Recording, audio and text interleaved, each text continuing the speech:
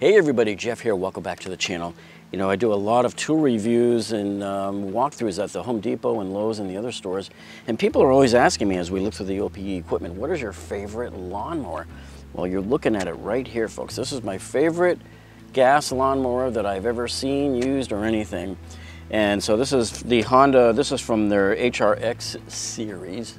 And this is the HRX 217 HZA lawnmower. Of course, there's a few things that attracted me to it. Number one, I mean, Honda just makes the best engines in the world. They never fail. They're so easy to start. And then what really attracted me to this particular one here was the fact that we have this electronic ignition here. So let's take a look at that. Now most lawnmowers, when you look at them, you might see a control over here on the left and then nothing here on the side, on the right side. But here you see you got this big contraption here called the electric start module. This gives you a second method for starting your lawnmower. And so here you can see it runs by a key, which is nice. And all you do is you just turn it to the start position and it starts the mower. Okay, so I took the lid off here to be able to show you the inside of this whole engine electric start mechanism. And basically most of it is this cavity that has this six cells. This is a massive heavy battery. This battery, I just replaced it. It costs $150. And then this is all the electronics here for the ignition start and it leads down to the engine. The Honda HRX lawnmower has a 21 inch size deck and it's made out of a plastic called Nexite and it's guaranteed for life. We've never had a single problem with it. It does not crack or anything or rust.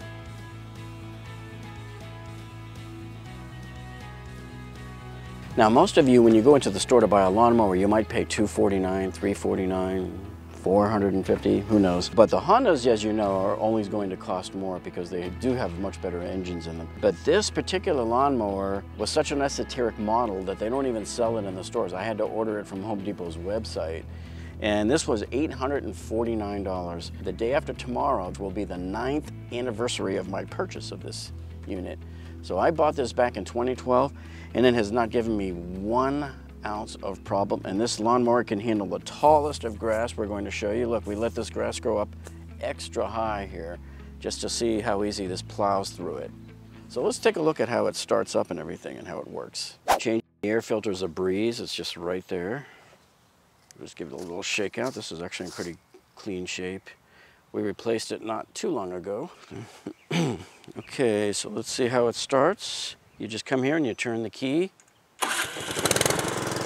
Dude, it cannot get any easier than that, folks. And to turn it off, you just turn off the key like that. Here it is again.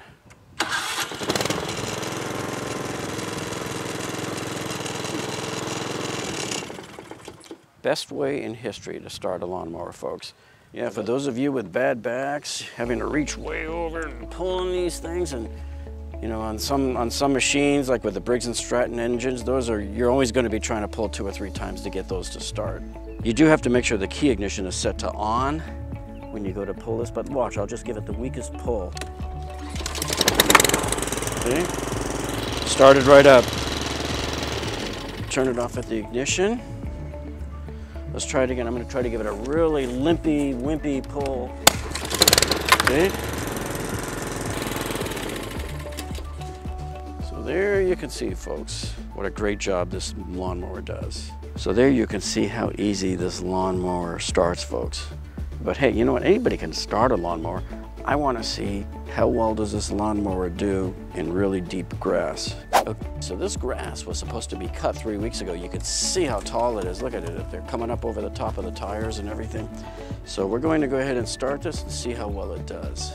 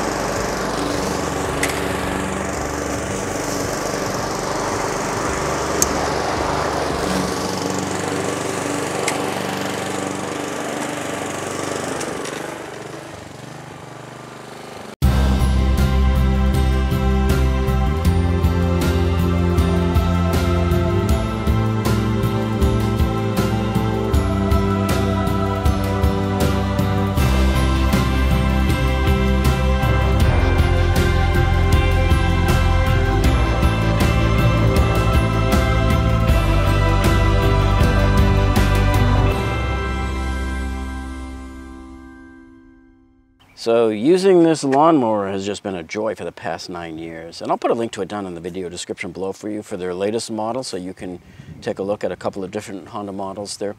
And uh, the other thing too is, is I have mowed really tall grass with this thing, tall wet grass as well, to you know as a stress test. And this thing just plows right through it. It never stalls ever. Uh, just whatever grass you want to put it through, it just keeps going. It's an amazing mower. Okay, now I'm going to show you a really cool feature about this Honda lawnmower that really sold me on it also. Just very few lawnmowers can do this. So let me show you something. I'm going to turn the motor on. Okay. We're walking along, we're mowing the lawn. We see a rock and we stop. Look at this. I take my hands off the bail handle and notice how the lawnmower is still on. Now the motor's on, but the blade is disengaged, see? So I can come over here, move a rock, blah, blah, blah, and come right back without having to restart the lawnmower. I love that.